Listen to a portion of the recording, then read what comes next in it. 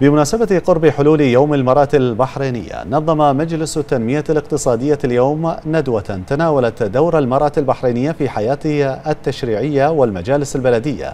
حضرها أكثر من 100 مشاركة بل 100 مشاركة, مشاركة من موظفات القطاعين العام والخاصة.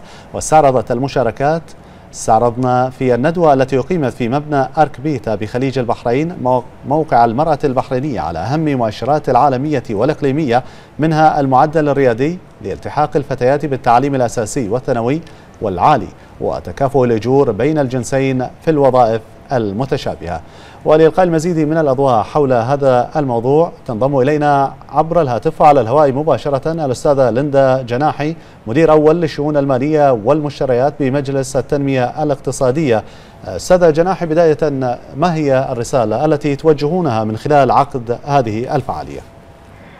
طبعا بتوجيه من صاحبة السمو الملكي الأميرة سبيكة بنت إبراهيم آل خليفة رئيسة المجلس الأعلى للمرأة حفظها الله تحتفل البحرين هالسنة بدور المرأة في المجال التشريعي والعمل البلدي.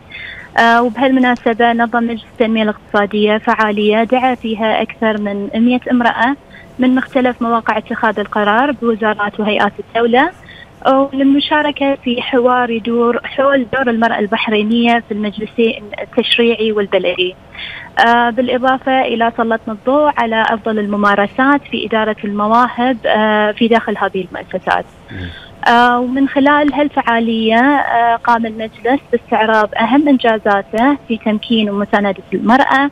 آه واللي على ضوءه نال المجلس لمرتين جائزة صاحبة السمو آه لتمكين المرأة. نعم.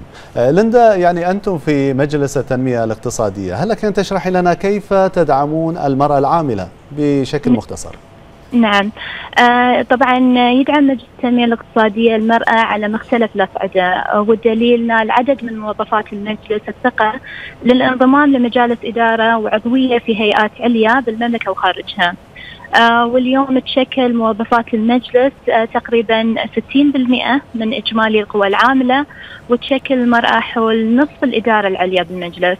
نعم. آه وطبعا المجلس حريص على تدريب موظفيه الإناث منهم؟ طبعا بحيث يتم تدريب الصف الثاني في دورات قيادية لتعزيز قدراتهم بحيث يديرون عملهم بشكل أكثر احترافية وطبعا إعدادهم لوظائف قيادية في المستقبل.